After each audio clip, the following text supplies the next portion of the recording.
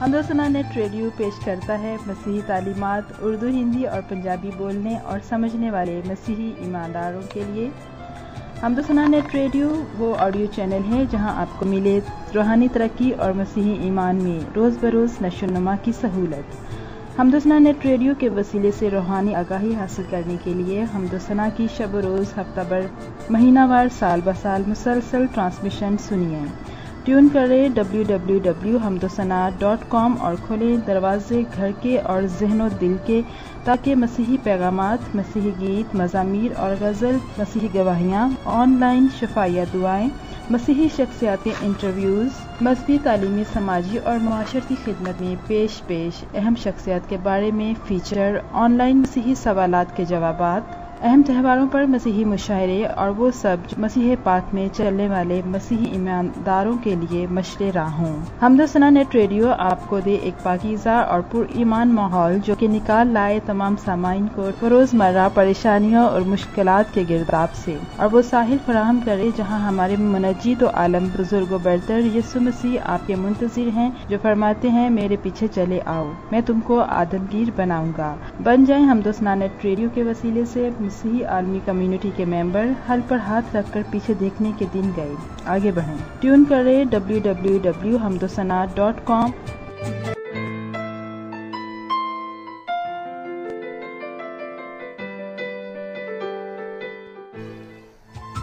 खुदाम यसु के नाम में आप तमाम सुनने वालों की सलामती हो और खुदाम के नाम को जलाल मिले। इन याम में हम रेडियो हमदोसना पर गुफ्तगु सुन रहे हैं। भाई आदल के साथ जो दूसरे खुदा के खादम हैं वो उनसे गुफ्तु कर रहे हैं कि किस तरह रूह में गिरना, जिसे अंग्रेज़ी ज़ुबान में स्लेन इन द स्पिरिट है, वो कैसे होता है। हम में से बहुत सारे लोग इसके लिए मुख्तलिफ़ रेफरेंसेस यूज़ करते हैं और आज हम उन चीज़ों को भी डिस्कस करेंगे, उन पर बात करेंगे। हमारे साथ खुदा के खादम पास्टर फ़रहान अनूस मौजूद हैं, जो जिनका ताल्लुक़ लाहौर से है और वो लाहौर बाइबल बैप्टिस्ट सेमनरी में खुदा उनके कलाम की तालीम को हासिल कर रहे हैं बाकायदा तौर पर और उनसे आज हम गुफ्तु करेंगे। तो गुफ्तु करने से पहले मैं एक रेफरेंस जो है उसको इस जगह पर कोड करना चाहूँगा, जिसके लिए इसे इस्तेमाल किया जाता है। खुदा उनके पाकलाम में से, पुराने अहदनामा में से। दूसरी तवारीख, यानी तवारीख की दूसरी किताब, उसका पाँचवा बाब और उसकी तेरहवीं आयत से चौदहवीं आयत जो है, इसको हम पढ़ेंगे खुदा उनके कलाम में लिखा है। तो ऐसा हुआ जब नरसिंगे फूंकने वाले और गाने वाले मिल गए, ताकि खुदावंद की हमद और शुक्रगुजारी में उन सब की एक आवाज़ सुनाई दे। और जब नरसिंगों और झांझों और मौसीकी के सब साज़ों के साथ उन्होंने अपनी आवाज़ बुलंद करके खुदावंद की सितश की कि वो भला है क्योंकि उसकी रहमत अबदी है तो वो घर जो खुदावंद का मस्कन है अबर से भर गया। यहाँ तक कि काहन अबर के सबब से खिदमत के लिए खड़े ना रह सके। इसीलिए कि खुदावंद खुदा का घर खुदावंद के जलाल से मामूर हो गया था।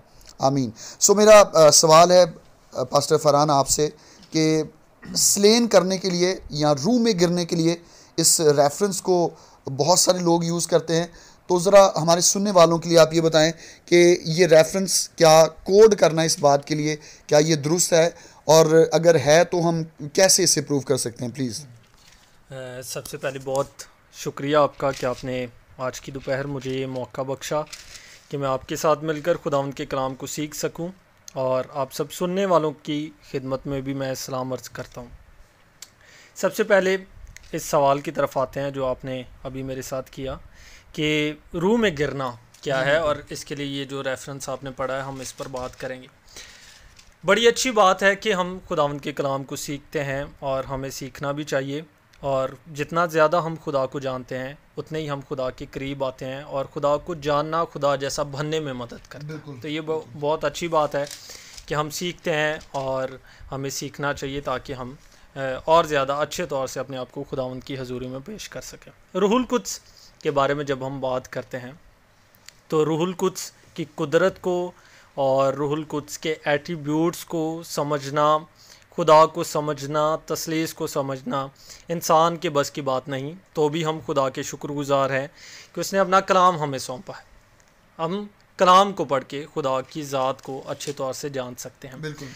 रूह में गिरने की बात जब हम करते हैं तो सबसे पहली बात यह है कि हमें ये देखना होगा कि क्यों ज़रूरी है रूह में गिरना।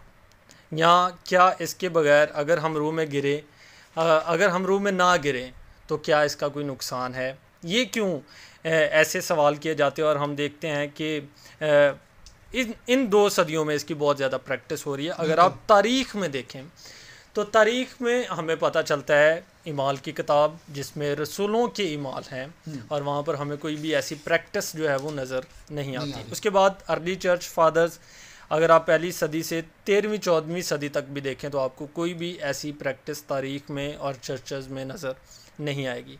अब सवाल ये है अगर हम ये आज के दौर में क्लेम करते हैं कि हम रूल कुछ से मामूर हैं और ये तो खुदा की हजूरी है रूल कुछ समय गिराता है तो फिर एक सवाल ये बनता है कि क्या जो चौदहवीं सदी से पहले की कलीसियाँ थी क्या उनमें रूल कुछ काम नहीं करता था? बिल्कुल बड़ी अच्छी बात क्या वहाँ पर खुदा का रूल उनको नहीं गिरा सकता था?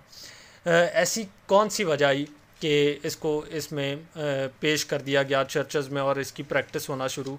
बहुत ज़्यादा बहुत बड़े पैमाने पर इसकी प्रैक्टिस हो रही। इस हवाले की तरफ़ आते हैं। जो आपने हवाला पेश किया और बहुत सारे ऐसे लोग जो इस बात पर यकीन और ईमान रखते हैं कि रूल कुछ में गिरना बहुत ज़्यादा ज़रूरी है वो इस रेफरेंस को पेश करते हैं कि देखें यहाँ पर जब खुदावंद का जलाल है तो लिखा है कि यहाँ पर लोग जो हैं वो खड़े नहीं रह सके। बाइबल को समझने का सबसे अच्छा तरीका ये है कि हम इसको कॉन्टेक्स्ट में पढ़ें। जब हम कॉन्टेक्स्ट में पढ़ते हैं तो बाइबल की ये खासियत है कि ये खुद ही अपने सवालों के जवाब दे देती है। क्योंकि ये कामिल किताब है और ये खुदा का कामिल कलाम है कामिल मुकाशवा है कामिल भेद है जिसमें खुदा अपने आप को जितना हमें जानने की ज़रूरत थी वो हम पर अया करता। है यहाँ पर जब हम कॉन्टेक्स्ट देखते हैं इसका मतन देखते हैं तो इसमें हमें पता चलता है कि दाऊद ने जो है वो हैकल के लिए लोगों को मखसूस कर दिया उनकी खिदमतें उन्हें दे दी। गो कि उसने हैकल नहीं बनाई जिसको हम्म। आकर सुलेमान ने अगर आप पाँचवें बाप की पहली आयत में देखें तो सुलेमान ने जो है वो इस घर को तामीर किया और सारा काम उसने किया है। अब जब हैकल की ओपनिंग है और लिखा है कि यहाँ पर गाने बजाने वाले मिल गए तो अबर छा गया और वहाँ पर लोग गिरे हैं। बहुत ज़्यादा ज़रूरी है कि हम लफ्ज़ों को बहुत गौर से पढ़ें। पहले नंबर पर यहाँ पर लिखा है कि सब यहाँ तक कि काहन अबर के सबब से खिदमत के लिए खड़े ना रह सके। तो पहला लफ्ज़ जो यहाँ पर है वो गिरने का नहीं है बल्कि यहाँ पर लिखा है खड़े, खड़े ना रह सके। तो इससे हम हरगिज़ भी ये अंदाज़ा नहीं लगा सकते कि वो गिर गए। चलें अगर हम मान भी लें कि वो गिर गए तो फिर हम फिर कॉन्टेक्स्ट में दोबारा पढ़ेंगे इसको। यहाँ पर डिवीजन्स देखें जो आज भी चर्च में होती है और उस वक्त भी थी। काहनत कहानत और काहन की जो खिदमत है वो अलग है। लावियों की खिदमत अलग है और आम जो लोग जो इबादत करने के लिए आते हैं वो वो, वो अलग है। आज भी चर्च में हम देखते हैं इसको इस तरह से हम समझ लें कि एक पास्टर जो पुलपट पे पर से प्रीच कर रहा है उसके बाद क्वायर का पोर्शन और फिर सब सारी जमायत का और आम लोगों का। अब हम देखते हैं कि यहाँ पर हुआ क्या है। गाने बजाने वाले मिल गए हैं। तो हम देखते हैं कॉन्टेक्स्ट में दाऊद ने पहले से मखसूस किए थे क्वायर के लोग।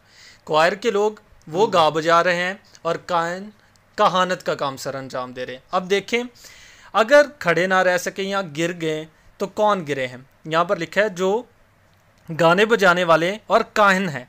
यहाँ तक कि काहन अबर के सबब से खिदमत के लिए खड़े यहाँ पर लोगों के गिरने की बात नहीं है। यहाँ पर कहनों की और उन गाने बजाने वालों की बात। अगर आप इसका इतलाक आज के दौर में करते हैं तो आज के दौर में कौन गिरता है? लोग गिरते हैं या कहन गिरते हैं? लोग गिरते हैं। तो यहाँ पर कन्फ्यूज़न पैदा होगी। अगर आप इतलाक करते हैं तो फिर आप सही से इतलाक करें। यहाँ पर उलट है। इस वजह से यहाँ पर हमें गलती नज़र आ गई कि वहाँ पर काहन गिर रहे हैं। अगर आप इस रेफरेंस को कोट करें पर आज तो लोग गिरते हैं काहन तो खड़े रहते हैं। तो इसका इतलाक जो है वो मैं समझता हूँ कि आज के दौर के लिए काबिल कबूल नहीं है और इस वजह से ये कोई इतनी ज़रूरी बात नहीं है और यहाँ पर खुदा के जलाल की बात है ग्लोरी। रूल कुछ में गिरने के लिए ये हवाला तो पहले नंबर पर नहीं उस तौर पर मौजू। ये खुदा के जलाल की बात है और यहाँ पर अगर गिरे भी हैं तो आम लोग नहीं गिरे बल्कि खुदा के काहन जो है वो गिरे हैं। तो आप खुद ही अब देखें कि इसका इतलाक हम कैसे चर्च पे कर सकते बहुत शुक्रिया पास्टर साहब। एक और अहम बात जो मैं चाहता हूँ कि तमाम सुनने वालों के लिए आप बताएँ क्योंकि लफ्ज़ इस्तेमाल किया जाता है सलेन इन द स्पिरिट यानी रूह में गिरना। तो क्या खुदा रूहुल कुछ की नहमत खुदा रूहुल कुछ का जो फल जिसके बारे में हम फ्रूट जो कहते हैं रूह का फल क्या उसमें ये खसूसियत हमें खुदाम के कलाम में मिलती है कि रूह गिराता भी है? क्या इस तरह का कोई ज़िक्र खुदाम के कलाम में या कोई रेफरेंस है जिसके बारे में आप आ, हमारे सुनने वालों के लिए बताना चाहते हैं? बाइबल में मैंने पहले भी ज़िक्र किया कि रसूलों के अमाल में जब रूहुल कुछ की हमें कुदरत नज़र आती है जैसे ये सुमसी आसमान पर उठाए गए तो उन्होंने कहा कि मैं जाता हूँ और मददगार तुम्हें दिए जाता हूँ। और फिर हम देखते हैं कि रसूलों पर जब वो दुआ में ठहरे हुए थे, रूहुल कुछ नाजल हुआ। तो आप देख लें, उसमें भी, वहाँ पर भी आपको कोई भी ऐसा हवाला नहीं मिलता कि रसूल वहाँ पर गिर गए। ना उन्होंने ऐसी प्रैक्टिस की। हमें कहीं भी ऐसा नज़र नहीं आता कि रूह जो है वो गिराता हुआ हमें नज़र आता है। अगर हम सिंपली इसका अखज़ निकालें बाइबल में से तो हम मैं ये समझता हूँ कि रूल कुछ गिराता नहीं है वो तो स्टैंड देता है हमें वो तो। खड़ा करता है वो तो गिरे हुओं को खड़ा करता है वो लोग जो शायद गुनाह में गिर गए शायद जो अपनी बदनी तौर पर इतने वीक हो गए, बीमार हो गए, रूहुल कुछ तो उन्हें हिम्मत देता है कि वो खड़े हों। तो मैं नहीं समझता कि शायद इसमें क्या लॉजिक है कि क्यों लोगों को गिराया जाता है और उसमें ये उन्हें बताया जाता है कि अगर आप गिरेंगे नहीं तो आपको शिफा नहीं मिलेगी या आप रूहुल कुछ की मामूरी को हासिल नहीं करेंगे। तो बाइबल तो इस बारे में कोई ऐसा रेफरेंस नहीं दे रही। तो भी उन लोगों के लिए उन्हें आ, मैं यही कह सकता हूँ कि वो अच्छे तौर से खुदा उनकी रहनमाई में आएँ इसको पढ़ें कलाम को कॉन्टेक्स्ट में पढ़ें। अगर आप खुद से ख्याल सोचेंगे फिर उसके लिए आयतें ढूंढेंगे तो फिर ये जो है वो नुकसान का बायस है। ना सिर्फ़ हमारे लिए बल्कि जो हमें फॉलो करते हैं उनके लिए भी नुकसान का बायस है। जी thank you so much pastor Farhan अभी हम गुफ्तु को जारी रखेंगे छोटी सी ब्रेक लेंगे उसके बाद हम दोबारा आपके साथ मौजूद होंगे।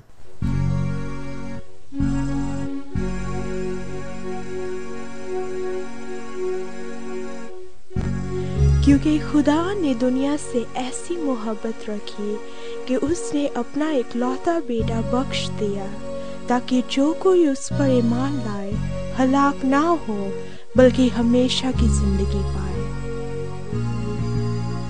क्योंकि खुदा ने दुनिया से ऐसी मोहब्बत रखी कि उसने अपना एक लौता बेटा बख्श दिया, ताकि जो कोई उस पर ईमान लाए, हलाक ना हो बल्कि हमेशा की ज़िंदगी पाए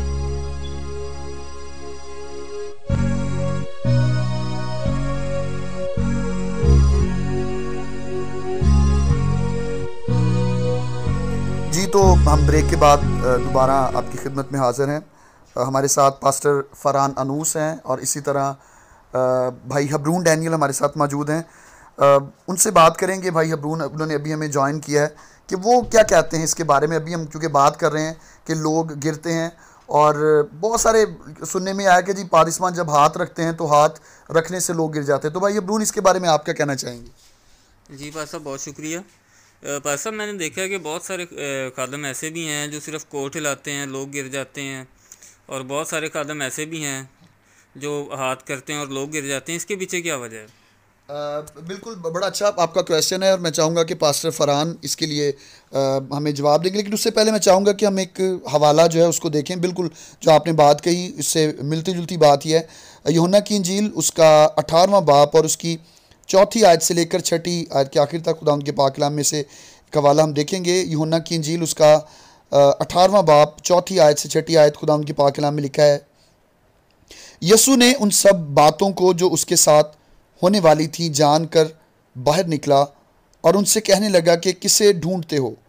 उन्होंने उसे जवाब दिया, यस्सु नासरी को। यसु ने उनसे कहा, मैं ही हूँ। और उसका पकड़वाने वाला यहूदा भी उनके साथ खड़ा था। उसके ये कहते ही कि मैं ही हूँ, वो पीछे हटकर ज़मीन पर गिर पड़े। तो पास्टर फरहान, अभी भाई हबरून ने भी सवाल किया कि जी, बहुत सारे लोग कहते हैं जी, हाथ लगाते हैं पादिस्मान तो लोग गिरते हैं। तो कहते हैं कि जी बहुत सारे लोग तो हाथ नहीं भी लगाते पादिस्मान तो लोग कैसे गिर जाते हैं? यसुमसी ने भी कुछ नहीं किया। यसुमसी ने सिर्फ़ बोला ही और लोग गिर गए। तो इसके बारे में आप क्या कहना चाहेंगे? बहुत शुक्रिया एक दफ़ा फिर। हम इस पर बात करेंगे। बड़ा अच्छा सवाल आया अभी भाई की तरफ़ से और पहले मैं सवाल की तरफ़ आता हूँ, फिर इस रेफरेंस की तरफ़ आते हैं। सवाल भाई ने ये किया कि बहुत दफ़ा बग़ैर हाथ लगाने से लोग जो गिर जाते हैं। तो इसको समझने के लिए ये बड़ी एक अच्छी और आसान सी बात है कि जब हम चर्चेस में लोगों को टीच करते हैं प्रीच करते हैं तो हम सिर्फ़ उन्हें प्रीच नहीं कर रहे होते हम्म। बल्कि हम उनकी साइकी को डेवलप कर रहे होते हैं। जो आप सोच उन्हें दे देंगे वो उस पर चलेंगे। जब आप उन्हें ये बात सिखा रहे हैं कि आपका गिरना ज़रूरी है तो उनकी साइकी डेवलप होती जाती है। आहिस्ता आहिस्ता उनकी सोच में ये बात आ जाएगी कि मैं गिरूँगा तो शिफा पाऊँगा। हम्म। अब जब उनकी साइकी यहाँ तक पहुँच जाती है तो फिर आपको हाथ लगाने की ज़रूरत नहीं पड़ती। बिल्कुल ऐसे ही है ऐसे ही होता है।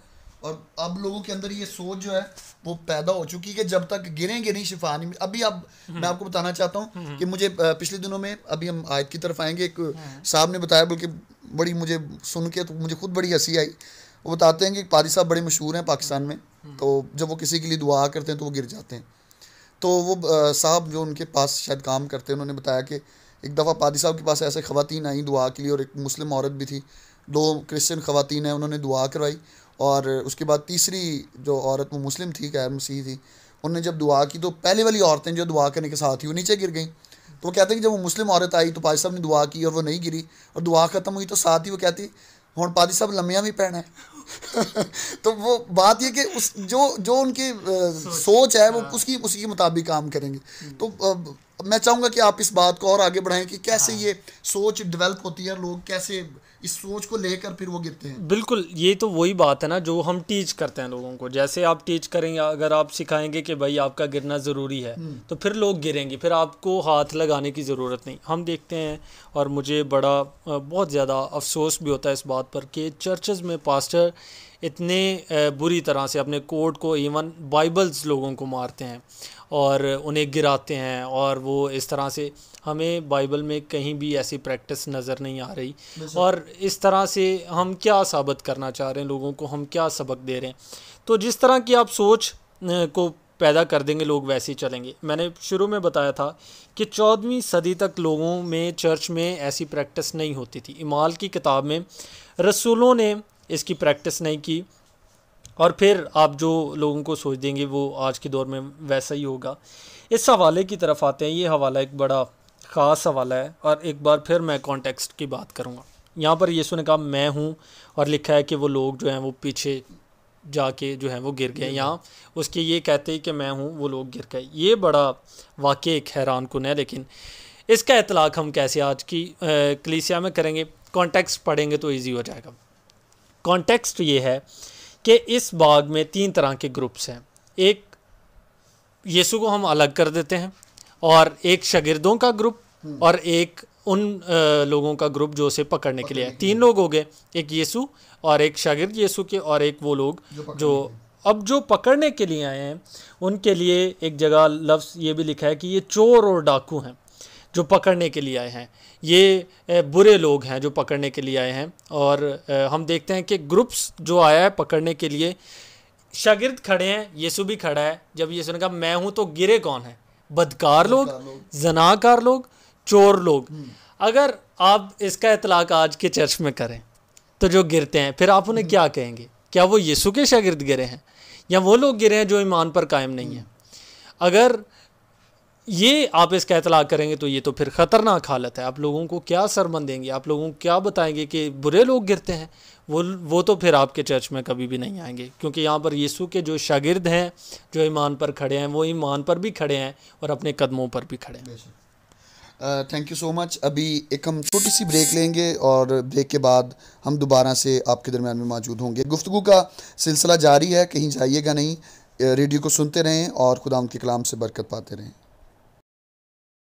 जी, दोबारा से हम आपके साथ मौजूद हैं। गुफ्तु का जो मौजू है, वो है कि रूह में गिरना स्लेन इन द स्पिरिट और हमारे साथ भाई मौजूद हैं, भाई हबरून डैनियल, इसी तरह पास्टर फरहान मौजूद हैं, और गुफ्तु कर रहे हैं। भाई हबरून के क्वेश्चंस हैं कुछ तो वो करना चाहते हैं। अभी भाई फरहान ने बड़ा अच्छा बयान किया कि जब यसुम सी मौजूद हैं यूना की जिल उसके अठारहवें बाब में तो जो पकड़ने वाले हैं मसी यसु को, जब यसु मसीह ने कहा, मैं हूँ तो लिखा है कि वो जितने भी थे, वो सब के सब गिर गए। तो भाई अबरून क्या आपको अपने सवाल का जवाब मिला, जो अभी भाई खुदाम के खादम ने बयान किया इसके बारे में? देखिए, पर साहब पर साहब ने बहुत तफसील से बताया, लेकिन खुदाम के कलाम में एक जगह सऊल का ज़िक्र भी है कि जब सऊल दमिश की राह पर था तो वो भी गिरा। अच्छा ठीक है, बिल्कुल आप, ये आपका सवाल है, मैं चाहूँगा कि हम इसका रेफरेंस जो है, इसको भी देखेंगे। इमाल की किताब में से उसके नौवें बाब में हमें ज़िक्र मिलता कि सऊल जो खुदा उनके शागिर्दों को धमकाने, उनके कत्ल करने की धुन में था तो कलाम मुकदस में लिखा कि वो दमिश्क की राह पर जा रहा था। तीसरी आयत नौवें बाब, इमाल की किताब नौवें बाब की तीसरी आयत और चौथी आयत हम खुदा उनके पाकलाम से पढ़ेंगे। खुदा उनके कलाम में लिखा है जब वो सफ़र करते करते दमिश्क के नज़दीक पहुँचा तो ऐसा हुआ कि यकायक आसमान से एक नूर उसके गिरदा गिर्द आ चमका और वो ज़मीन पर गिर पड़ा। और ये आवाज़ सुनी कि आए सऊल आए सऊल तू मुझे क्यों सताता है? तो जी पास्टर फरहान अभी जो सवाल आपने जो बात की है उसके लिए एक और सवाल भी आ गया कि जी आप तो कई ईमानदार भी गिरे हैं? इसके मतलब ये तो नहीं कि यसू को पकड़ने वाले पकड़वाने वाले जो हैं वो गिर रहे हैं पकड़ने वाले गिर रहे हैं। साउल एक अच्छा ईमानदार है पालूस बन गया है। वो भी तो गिरा है इसके लिए आप क्या कहना चाहेंगे? ये एक बड़ी अच्छी बात की और ये एक सवाल है। बहुत सारे लोग ये समझते हैं कि साउल एक ईमानदार था इसलिए गिरा। लेकिन यहाँ तक अभी तक वो ईमानदार नहीं है। अभी तक तो वो ईमानदार नहीं है। बल्कि वो अपने आप को कहता है कि मैं जो खुदा को तंग करने वाली या अगर गुनागारों की बात करते हैं तो मैं उन सब में भरा हूँ। और अगर खिदमत और मोहब्बत की बात वो कहता है रसूलों की बात करता है तो उसमें वो कहता है कि मैं सबसे छोटा हूँ हालाँकि उसकी खिदमत बहुत बड़ी। इसको एक बार फिर मैं वही लफ्ज़ इस्तेमाल करूँगा कि हम उसमें देखेंगे कॉन्टेक्स्ट में देखेंगे कि यहाँ पर क्या बात हो रही है। आ, आ, मुझे बड़ा अच्छा लगता है कि हम बाइबल को डिस्पेंसेशन यानी अदवार में पढ़ते हैं तो इससे बहुत सारे सवाल हमारे क्लियर हो जाते हैं और वो लोग जो डिस्पेंसेशन पर यकीन और ईमान रखते हैं, उनके लिए भी ये बड़ी आसानी की बात है। हम देखते हैं कि हर दौर में खुदा मुख्तलिफ़ तरह से काम करता आया है और हम देखते हैं एक वक्त था जब खुदा जो है वो फ़रिश्तों को भेजता इंसानों की सूरत में और वो आते और लोगों को फ़ील हो जाता कि ये खुदा के फ़रिश्ते थे। एक वक्त था, एक वक्त ऐसा भी आया जब खुदा नबियों को भेजता था फिर एक वक्त आया जब खुदा ने अपने रसूलों को चुना। तो इन सब का एक एक अलग अलग टाइम है। आप आज के दौर पर इन चीज़ों को अप्लाई नहीं कर सकते। आप ये नहीं कह सकते कि आज भी कोई फ़रिश्ता मेरे पास आदम आदमी की सूरत में आएगा तो फिर ही मैं खुदा के कलाम पर यकीन करूँगा। ऐसा नहीं। इब्रानियों के ख़त में जब वो शुरू करता है तो वो लिखता है हम्म। कि अखीर में अखीर हाँ, ज़माने में उसने अपने बेटे बेटे की जब बेटे की मार्फत कलाम कर दिया तो आज ज़रूरत नहीं कि फ़रिश्ते आएँ आपको रोया नज़र आए। आप नबी कलाम में एक बड़ा अच्छा रेफरेंस है कि नबूत और शरीयत और नबी जो थे वो यहुन्ना तक थे। हम्म। यहाँ तक क्लियर हो गया। रसूल जो थे वो बारह ही थे। अब आज के दौर में बेशक बहुत सारे लोग तो ये भी कहते हैं कि हम रसूल हैं हालाँकि ऐसी बात नहीं। रसूल बनने की कुछ शराइत हैं। जिन पर चलना ज़रूरी है। अब जब यीशु ने बुलाया तो उनको एक अथॉरिटी के साथ बुलाया एक इख्तियार के साथ बुलाया। जब हम साउल के गिरने की बात करते हैं तो सबसे पहले हम ये जान लें कि साउल को रसूल होने के लिए बुलाया जा रहा है। उसको ये बताना है कि तेरा चुनने का तरीका भी एक अलग है क्योंकि रसूल का चुनाव और एक काम ईमानदार का चुनाव एक अलग है। उसने तो खुदा के काम को आगे उस रसालत के काम को करना है उसकी खिदमत अलग है। अब जब उसको चुना जा रहा है, ये बड़ी गौरतलब बात है कि उसको चुना जा रहा है तो यहाँ पर खुदा ने माफोकल फितरत कुदरत के साथ काम किया है। मतलब आम वे के साथ नहीं, जिस तरह आज खुदा अपने लोगों को चुनता है, पास्टर साहब ने कलाम किया, कोई एक ऐसी बात हमारे दिल में उतरती है और हम ये बात को सोच लेते हैं कि मैं अपनी ज़िंदगी खुदा को दूँगा। लेकिन यहाँ पर खुदा एक कुदरत के साथ हमें काम करता नज़र आ रहा है, क्योंकि अभी तक बाइबल भी कंप्लीट नहीं हुई। अभी तक रूहुल कुछ के बहुत सारे काम हमें ऐसे नज़र आ रहे हैं इमाल की किताब में देखें मुर्दे भी ज़िंदा हो रहे हैं। अब आप इस चीज़ को आज के दौर पर भी अप्लाई नहीं कर सकते कि नहीं भाई, आज भी मुर्दा ज़िंदा हो। हर एक दौर में हर एक बात अच्छी लगती है, हर एक काम अच्छा लगता है। आप उन चीज़ों को आज के दौर पर अप्लाई नहीं कर सकते। रसूल जो सऊल जो है, जब वो गिरा है तो यहाँ पर रूहुल कुछ का इस पूरे कॉन्टेक्स्ट में ज़िक्र नहीं है। यहाँ पर लिखा है कि उसे यीशु की आवाज़ आई है। और उससे पहले एक और उसके साथ एक ऐसा मुआवजा वहाँ पर हुआ है कि देखें वो बदी करने के लिए जा रहा है गुनाह करने के लिए जा रहा है लोगों को मारने के लिए जा रहा है और खुदा ने उस पर फजल किया। ये कितना बड़ा मोचा है कि बाज़ दफ़ा खुदा हम पर तब भी फजल करता है जब हम बुरे काम के लिए जा रहे थे खुदा हमें फजल करके बुला लेता है लेकिन यहाँ पर फजल जो है उसके पीछे एक बहुत इख्तियार बड़ा इख्तियार नज़र आ रहा है कि वहाँ पर लिखा है कि उसका चेहरा इतनी चमक थी कि जैसे तेज़ी के वक्त आफ्ताब होता है। अब आप खुद ही सोचें कि अगर आपके साथ भी ऐसा सीन हुआ हो तो फिर मैं तो समझता हूँ कि बंदा तो शायद घबरा के टेंशन के साथ गिर जाए कि आवाज़ आई कहाँ से है। अब यहाँ पर रूल कुछ की तो कोई बात नहीं हो रही। ऊपर से मैं बता रहा हूँ कि अथॉरिटी के साथ बुलाया है बड़े काम के लिए बुलाया है। चुनाव का तरीका लग गया है। आप ये नहीं कह सकते कि मुझे भी आज आसमान से आवाज़ आएगी तो फिर मैं यीशु को कबूल करूँगा। ये एक डिस्पेंसेशन है अदवार की बात है। और मुख्तलिफ़ दौर में खुदा ऐसे काम करता नज़र आया। वो पाँव पे खड़ा नहीं था। वो अपनी सवारी पे था। और जब उससे ऐसे कलाम हुआ तो वो घबराया और घबराया तो वो गिर गया। मैं समझता हूँ अगर वो पाँव पर खड़ा होता तो शायद वो हिलता थोड़ा सा शायद वो ना भी गिर ना ही गिरता। तो इसलिए मैं समझता हूँ कि इसका इतलाक कलीसिया जो है वो सवारी पर नहीं है। वो तो अपने कदमों पर आती है। तो आप उसको इस तरह से इतलाक उसका नहीं कर सकते। हम्म, बहुत शुक्रिया। पास्टर फरहान बड़ी तफसील से आप ये जो रेफरेंसेस दिए जाते हैं स्लेन के बारे में, स्लेन इन द स्पिरिट के बारे में आप उनका जवाब दे रहे हैं और मुझे उम्मीद है कि सुनने वाले भी इस वसीला से बरकत पा रहे होंगे। और अगर आपका कोई सवाल हो तो ज़रूर आप, हमारा जो नंबर है व्हाट्सएप नंबर जो एप्लीकेशन पर भी आता है और इसी तरह आप वेबसाइट पर भी देख सकते हैं। आप उन पर अपने सवाल जो हैं वो रिकॉर्ड करके व्हाट्सएप नंबर पर भी भेज सकते हैं, लिख कर भी भेज सकते हैं। अभी हम ब्रेक लेंगे और ब्रेक के बाद हम एक आखिरी रेफरेंस जो खुदा उनके पाकलाम में से है उस पर गौर करेंगे और हमारे साथ मैं बता रहा हूँ भाई हबरून डैनियल मौजूद हैं, वो बहुत सारे सवाल आते हैं उनके और एक एक करके हम उनका जवाब भी तलाश करें। और मुझे उम्मीद है कि आप सब भी जो अपने जहन में ऐसे सवाल रखते हैं आप भी आज की इस गुफ्तु के वसीला से बरकत पा रहे हैं। अभी हम एक छोटी सी ब्रेक लेंगे। हम दूसरा रेडियो को सुनते रहें और उसके बाद दोबारा हम आपके दरमियान में मौजूद होंगे। थैंक यू क्योंकि खुदा ने दुनिया से ऐसी मोहब्बत रखी कि उसने अपना एक लौता बेटा बख्श दिया, ताकि जो कोई उस पर ईमान लाए, हलाक ना हो, बल्कि हमेशा की ज़िंदगी पाए। क्योंकि खुदा ने दुनिया से ऐसी मोहब्बत रखी कि उसने अपना एक लौता बेटा बख्श दिया, ताकि जो कोई उस पर ईमान लाए, हलाक ना हो, बल्कि हमेशा की ज़िंदगी पाए।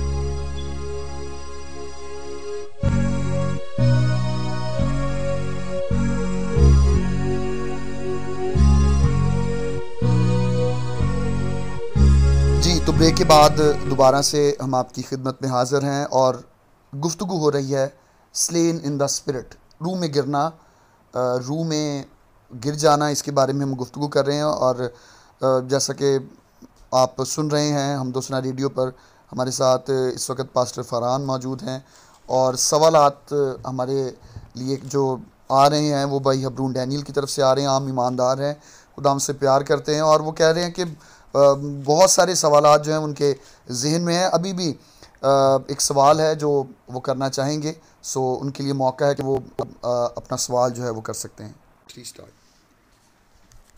बहुत शुक्रिया बात साहब। इस कलाम के वसीला से बहुत बरकत मिली है और मेरे बहुत से सवालों का जवाब मुझे मिल गया है। लेकिन मेरा एक आखिरी सवाल है कि पलूस रसूल तो सवारी पर था तो वो गिर गया। लेकिन यूना आरफ तो अपने पाँव पर था वो कैसे गिरा? हाँ बिल्कुल बड़ा ज़बरदस्त। और गहरा सवाल है और मैं चाहूँगा कि हम यूना आरफ के बारे में जानने के लिए मुकाशवा की किताब जो बाइबल की आखिरी किताब है उसकी जानब रजू करें। उसी यस्सु का मुकाशवा जो यूना आरफ पर ज़ाहिर हुआ उसमें से आ, हम आयत देखेंगे मुकाशवा की किताब उसका पहला बाप और उसकी सोलहवीं और सत्रहवीं आयत खुदा उनके पाकलाम में लिखा है मुकाशवा की किताब। उसका पहला बाप सोलहवीं और सत्रहवीं आयत खुदा उनके पाकलाम से पढ़ेंगे लिखा है और उसके दाहने हाथ में सात सितारे थे और उसके मुँह में से एक दो धारी तेज तलवार निकलती थी और और उसका चेहरा चमकता था, था जैसे तेज़ी के आफ्ताब। जब मैंने उससे देखा तो उसके में मुर्द मुर्दा सा गिर पड़ा और उसने ये कहकर मुझ पर अपना दाना हाथ रखा कि खौफ न कर मैं अव्वल और आखिर जी तो पास्टर फरहान, ये सवाल है कि जी आप ये कहा आपने बताया कि कि पालूस रसूल तो सवारी पर थे और वो गिर गए। लेकिन यूना आरिफ जो है वो अपने कदमों पर खड़ा है। तो इसके बारे में बाइबल में से हमने रेफरेंस भी देखा कि वाकई वो गिरा है, खुदा की हजूरी में गिरा है। तो अगर कोई अब आज के दौर में गिर, फिर फिर हम उसे क्यों क्यों जुटलाते हैं? क्यों हम उसे मानते नहीं और मानते कि ये बाइबल के मुताबिक नहीं? तो इस सवाल का जवाब मैं चाहूँगा कि आप भाई को, को और सब जो सुनने वाले हैं उनको ज़रूर दें। बहुत शुक्रिया एक दफ़ा फिर। फिर एक दफ़ा वही बात कि हम इसको कॉन्टेक्स्ट में देखेंगे। योना आरफ का जो मुकाशवा और जो रेफरेंस आपने पढ़ा। जब हम बात करें मसीह मसीह मुर्दों में से जी उठे तो लिखा है कि वो अपने शगिर्दों पर और सबसे पहले मरियम मगदलिनी पर उन्होंने अपने आप को ज़ाहिर किया। जब ज़ाहिर किया आप देखें कि इस हालत में जब उन्होंने यीशु को देखा तो ये हैरान कन बात थी। लेकिन आप देखें कि मरियम मगदलिनी वहाँ पर नहीं गिरी। उसके बाद शागिर्दों पर जब यीशु ने अपने आप को ज़ाहिर किया तो वो वो भी नहीं गिरे। अब जो जलावदी है उसकी क्वालिटी ये है कि वो विजिबल भी होता है इन इनविजिबल भी होता है। वो तो अपने अपने आप को ज़ाहिर करे चाहे तो अपने आप को नहीं। लिखा है कि दरवाजे खिड़कियाँ सब कुछ बंद था और यीशु उनके दरमियान आ गया। कहाँ से आ गया? कैसे आ गया? तो ये जलाली बदन की क्वालिटी लेकिन इसमें भी एक बड़ी ख़ास बात वहाँ पर ये हुई कि यीशु ने मरियम से कहा मुझे छूना क्योंकि अभी तक मैं अपने बाप के पास नहीं गया। मैं जलाली बदन में जी तो उठाऊं लेकिन वो जो मेरा जलाल है ना उसको मैंने अभी नहीं पहना। यहाँ पर जब यहोन्ना ने देखा है ना उसको पहले भी देखा था तब नहीं गिरा। अब जब उसने उसके उस जलाल में उसको देखा ना जिस जलाल में वो है तो वो उस जलाल को बर्दाश्त नहीं कर सका। तो यहाँ पर रूह को इसकी बात नहीं हो रही। यहाँ पर उस लाल लाल की बात है तो, तो मैं ये मैं ही समझता हूँ कि अगर आप जल, जलाल में हमारे सामने आए तो हम कैसे खड़े रहेंगे? हम तो खड़े नहीं रहे क्यों क्योंकि जल, के सामने तो कोई भी खड़ा नहीं रह सकता दुनिया की कोई भी चीज़ उस उस जल को सामना नहीं कर सकती। तो इसका कॉन्टेक्ट नहीं बनता इसके इसके साथ कि आप कुछ में गिरना जो चर्च में में गिरना है के जलाल को लिटरल नहीं देख रहे होते। तो इस से महसूस तो करते हैं हम खुदा खुदा की प्रेजेंस को। लेकिन लेकिन उस साल जो जो यहाँ पर अब इसका कॉन्टेक्स्ट ये है ये है कि योहना जो है वो मस के जजीरे पर जलावला वतन है। पानी पानी है और वहाँ पर सोना है तो वो सो भी नहीं सकता क्योंकि क्योंकि चट्टानों के बाद जब पानी टकराता है ना तो शोर होता है होता है। फिर डायरेक्ट मुंदर से कोई से कोई जानवर ना निकल तो उसकी नींद नहीं अब जब यीशु को यीशु को छोड़ के देखा तो उसे उसे वही फील आ रही है। वो वो कहता है उसकी आवाज़ है जैसे ज़ोर ज़ोर के किसी उसके कानों में वही है। कानों में वही आवाज़ है। लेकिन वो डाल जो उसने अब अब लिखा है अब नहीं अब नहीं था जब यीशु दो में दो में से वो इसको बर्दाश्त नहीं कर सका। और लिखा है कि मैं उसके पाँव में मतलब आगे साइड को वो मुँह के मुँह के बल पीछे बल के आगे को उसके पाँव की पाँव की तरफ़ गिरा है। तो इस, इसको हम इस तरह से मैं यकीन माने मैं भी इस बात का इकराता हूँ कि वाकई खुदा खुदा का जलाल इस तरह आपके साथ तो तो शायद आप आप आप बर्दाश्त ना कर सकें। और गिरना देखें आप आप ज़रूरी इस इस कॉन्टेक्स्ट नहीं है आप क्यों क्यों मतलब मतलब गिरा के क्या करना है करना है लोगों को? आप इस बात को समझने की कोशिश करें कि रूहुल कुछ में गिरना उसके लिए इन चारों हवालों में से कोई भी अभी तक हवाला हमारे पास नहीं है। अगर अगर हमने तवारीख में देखा तो वहाँ पर भी खुदा के जलाल की बात है। फिर हमने यीशु के बारे में देखा कि उसने कहा मैं हूँ। तो वहाँ पर भी रूल कुछ की बात नहीं। सौल की रेफरेंस में भी रूल कुछ की बात नहीं। और ये चौथा रेफरेंस जो अभी हमने पढ़ा इसमें भी रूल कुछ के गिरने की कोई बात नहीं। लेकिन अगर आप इसके के करने की भी बात करते हैं तो वो देखें कि उसने इस हालत में अभी तक नहीं देखा था तो वो बर्दाश्त नहीं कर, कर सका। तो इस वजह से वो उसके पाँव में मुर्दा सा गिर बहुत शुक्रिया पास्टर फरहान और भाई हबरून डैनियल आपका। और मुझे उम्मीद है कि हम जो ईमानदार हैं हम इस गुफ्तु को सुनने के बाद ये कोशिश करेंगे कि वो चीज़ें जो मसीही सही ईमान के मुताबिक और बिलखसूस बाइबल मुकदस के मुताबिक हैं, खुदा मुताबिक हैं। हम उनको अपनी ज़िंदगी में हासिल करें और उसके मुताबिक अपनी ज़िंदगी को बसर करें। देखें चर्च या मिशन डिनोमिनेशन शायद उनकी तालीम फ़र्क हो सकती है। कोई बैप्टिस्ट है, कोई पैंतीकॉस्टल है, कोई किसी भी डिनोमिनेशन से ताल्लुक़ रख सकता है, लेकिन हमारे लिए सबसे अहम चीज़ जो है वो खुदा का कलाम होना चाहिए। तो इस मैं आप आप सबका भी शुक्रगुजार हूँ जो बड़ी अच्छे तौर पर आप हम दुसना रेडियो पर इस सारी गुफ्तु को सुन रहे थे। खुदामद आपको बरकत दे। पास्टर फरहान, मैं चाहूँगा कि जाने से पहले एक मुख्तसर दुआ आप सब सुनने वालों के लिए करें कि सब जो सुन रहे थे खुदावंद इस कलाम के वसीला से बरकत दे। अगर किसी की कोई दिल आज़ारी हुई तो खुदावंद उसको भी संभाले और ये तोफ़ी बख्शे कि वो भी खुदा के कलाम पर अमल करें। जी, बिल्कुल। हम दुआ मांगे। अरे बाप हम तेरी शुक्रगुजारी करते हैं इस वक्त के लिए जो तूने हमारी ज़िंदगी में बख्श दिया। खुदावंद, हमने तेरे कलाम की सच्चाइयों को सीखा है और खुदावंद, हम तेरे कलाम को तेरी हिकमत के बगैर नहीं समझ सकते। खुदावंद, तेरी शुक्रगुजारी कि तू अपनी हिकमत हमें बख्शता है। ताकि हम तेरे कलाम को तेरी मर्ज़ी के मुआफ़ समझ सकें। खुदावंद, हम तेरी शुक्रगुजारी करते हैं। खुदावंद, जहाँ पर जो भी कमियाँ हमारी ज़िंदगी में हैं, उसे दूर कर और अपनी हमत हमें उंडेल। बेशक खुदावंद, तेरी हमत तेरे खौफ से मिलती है। बख्श दे कि हमारी ज़िंदगी में तेरा खौफ हो, ताकि तू अपनी हमत हमें बख्श दे और हम तेरे भेदों को जान सकें। खुदावंद, आज का कलाम इन सब सुनने वालों के लिए खुदावंद, बहुत ज़्यादा बरकत का बायस हो और खुदावंद ये अच्छे तौर से तेरे कलाम को समझे और तेरे कलाम के मुताबिक अपनी ज़िंदियाँ गुजारने वाली हों। खुदावंद यीशु के नाम से। आमीन। आमीन। बहुत शुक्रिया खुदावंद आपको। बरकत बख्शे। हम दो सना रेडियो को सुनते रहें और अगर कोई सवाल आपके जहन में आता है तो ज़रूर आप उस सवाल को हमारा जो ईमेल एड्रेस है, हम दूसरा रेडियो का उस पर भेज सकते हैं। व्हाट्सएप नंबर पर आप अपना सवाल रिकॉर्ड करके भेज सकते हैं, ताकि उसका जवाब दिया जा सके। मैं आखिर पर फिर कहना चाहूँगा कि अगर किसी भी सुनने वाले की इन बातों से दिल आज़ारी हुई तो हमारा मकसद इस गुफ्तु का आपके दिल को दुखाना नहीं, बल्कि खुदावंद के कलाम की सच्चाइयों को ढूंढना है। खुदावंद आप सबों को बरकत बख्शे। आमीन।